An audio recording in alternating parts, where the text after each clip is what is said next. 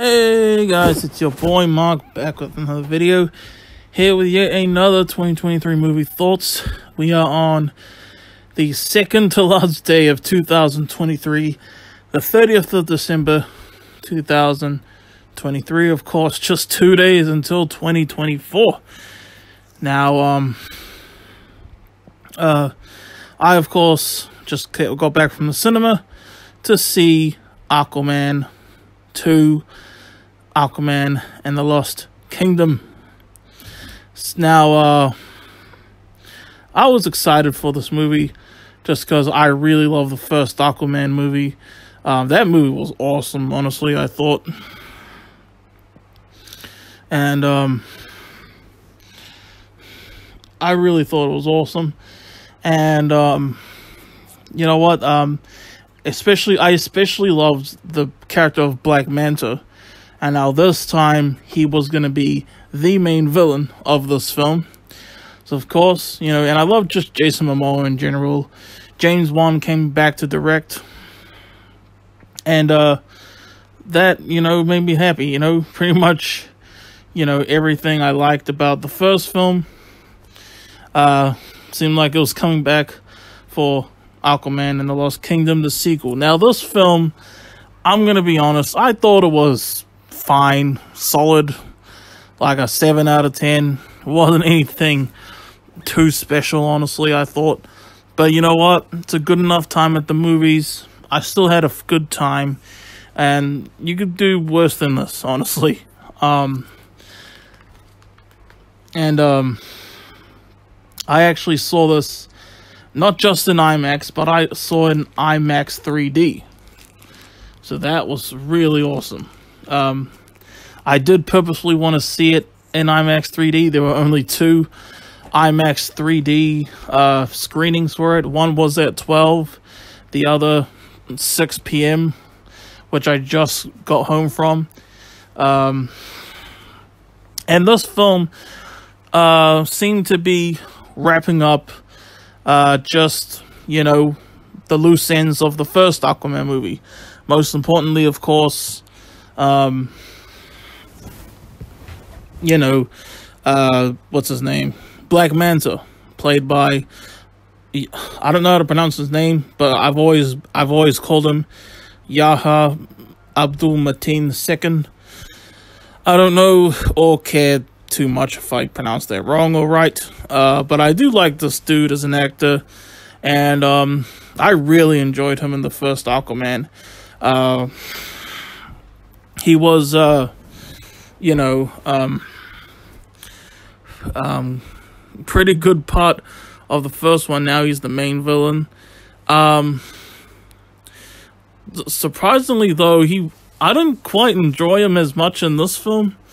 You know, like it was like I don't know. It was like I don't. Again, it's like you see the character, and it's like I think they tried though. You know, I'm not saying they, they didn't try. You know, to you know, make him more interesting or anything like that. I do think they definitely tried, and um, I was really enjoying him more like near the end of the movie. You know, when he really starts doing evil stuff. Um, but um, but you know, it was really just the same. Like Aquaman killed my father, you know, so I want revenge. Same stuff. It works, but same stuff. Um, Aquaman and Mira are married now, and they have a baby boy, which is cool. Uh, Nicole Kidman's back in this. My man Temuera Morrison is back as his father in this. Um, that was cool to see him. And uh, yeah, Amber Heard as Mira. Now, I don't like Amber Heard as a person myself, but giving credit where credit is due, I know cancel pigs like to, you know, like act act like they always hated something starring someone that's now hated. But she is good as Mira in this. She was good as Mira in the first Aquaman. Also, they tried. They definitely made it look like she was barely in this movie, if at all. She's in this. She she is in this. Okay, she's in this quite a bit you know, But uh, and I, like I said, I don't like her as a person myself, but she was, she is good as Mira. That's just that, you know. Um, but um, yeah, um, Jason Momoa, as always, awesome as Aquaman, and uh, but the biggest surprise of this movie to me and I heard that people said that this was like the best part about this film, and I was like, really, that's the best part.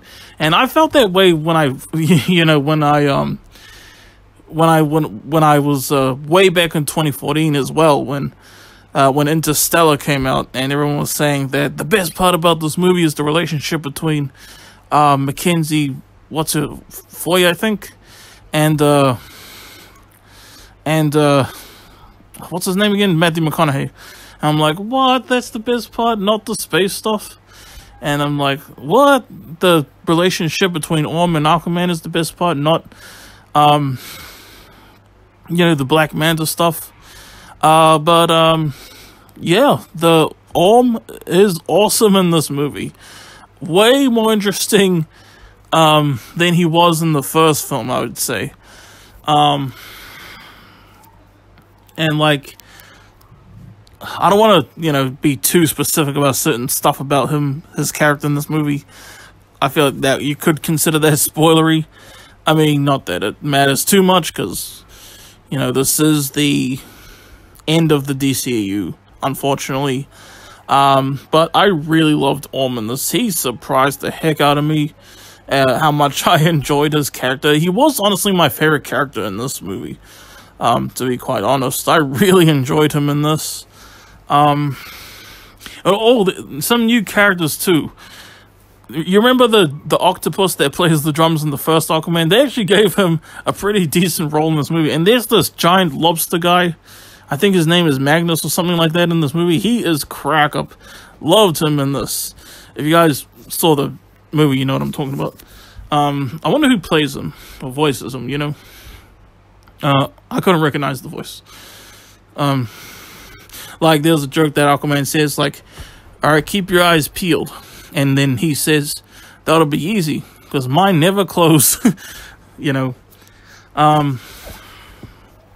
You know what? Um. Uh. Yeah. Um.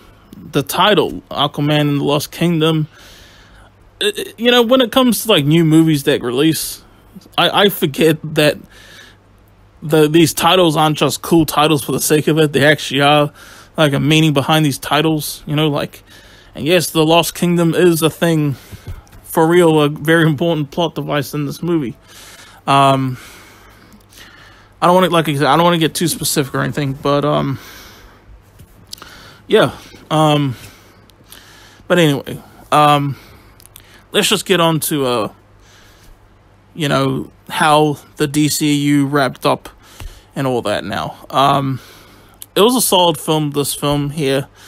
It doesn't really have, it, it's not like Endgame at all. It's like they just decided to like, all right, we're just gonna, however we were gonna make this film end, that's just how it ends. Um, no sign that it is ending this film just drops and that's it. That's the end of this movie and the DC extended universe. Um, I'm even though I like James Gunn, I'm not really like all that interested um, in what I've heard for his new DCU. And I, I don't I don't know why why everyone's dick is so hard about the Superman Legacy castings. You know, especially Nicholas Hoult as Lex Luthor. Like what? When I think Lex Luthor, I think of a middle-aged, bald dude. Why do they want Lex Luthor to be young all of a sudden? They did it with, you know, Jesse Eisenberg. Yeah, who, who's not too bad. Who actually was a decent Lex Luthor, but, you know. Um, but still, when I think Lex Luthor, I think middle-aged, bald dude who hates Superman. Um, and like, yeah, this film doesn't really have like a conclusive ending to the DCU. Like, it wraps up the stuff that was in the Aquaman, the first Aquaman movie. That you know, and that that's about it. You know, uh, it just ends. Um, and the very last line of the DCU, you you might consider the spoilers, so just warning you. Um, I am Aquaman. Yeah, those are the last words of the DCU. Uh, I, don't. I there is a mid credit scene. It's just it's it's it's a, it's just a gag though. It's nothing that you you can easily skip it, you know. But I don't know if there was I don't know if there's a mid credit, uh, uh, sorry, a post credit scene like at the very end, just because I I did go to see this movie with my grandfather, just like I went to see Wonka with my grandfather, and uh, I didn't want to like worry him, you know. So I I did watch the mid credit scene. I don't know if there's something after the credits, you know.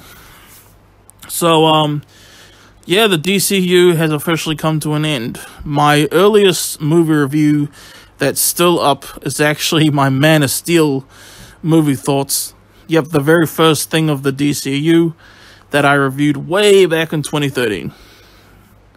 In December of 2013 is at that. Yeah, um that is my earliest uh movie thoughts slash review up on my YouTube channel. And here we are 10 years later. And my whatever I reviewed for that it's it's nowhere near as good as I do it now. Okay, maybe you could argue maybe I still do it terribly. You know, we can be honest. You know, we can still be honest but also kind. You know, um, but also real and honest. You know. And man, I, I have followed the DCU. I have had I have you know followed the DCU. Um, uh, so many movie announcements, so many canceled movies, so many hopes and dreams that just got crushed. Um, definitely didn't live up to its full potential. And uh, I guess it's hard to say who's to blame for that. Um, like, um, far out. Like, Ben Affleck, standalone Batman movie. Yes, that's going to be epic. It never happened. Um, Joker standalone movie never happened. Joker and Harley Quinn never happened. Gotham City Sirens never happened. Um, The Trench, a spin-off of Aquaman. I don't know what that movie would have looked like. Uh, would that would I could see that at most working as a short film, but a full length movie, I don't know. Deadshot the movie never happened. Um, oh, just Deathstroke the movie never happens, And these all sounded like they would have been really cool movies. But it all ended with Aquaman and the Lost Kingdom. And it's a solid movie. Uh, like I said, uh, whatever I say next, I'm just going to repeat myself that I've already said in this video. So, yeah, that's... How are they going to do Peacemaker Season 2, though? Because they did confirm Season 2 of Peacemaker. But, like that one references this DCU. Is that going to be the only part of this DCU that's that's still going to be alive? Because they do reference, and they even had appearances from, you know, DCU characters like Jason Momoa's Aquaman, you know, Ezra Miller's The Flash. They did cameos. They make references to stuff in the DCU, you know. How they how are they gonna do that with Peacemaker season two? Are they gonna? I don't know. It's confusing, but anyway, that's my thoughts on Aquaman and the Lost Kingdom, y'all. Hope you guys enjoyed. Um, that would be the last movie I saw in cinemas of 2023. Um, I'll still try my best to, you know, do uh, at least a, a couple more, you know, movie reviews tomorrow the last day of the year, as well as Top Sunday for tomorrow, of course. Um, but yeah, this is where we are. Hope you guys enjoyed your boy Marc Sanders' thoughts, and I'll see you next time. Peace out. Have a good one, y'all.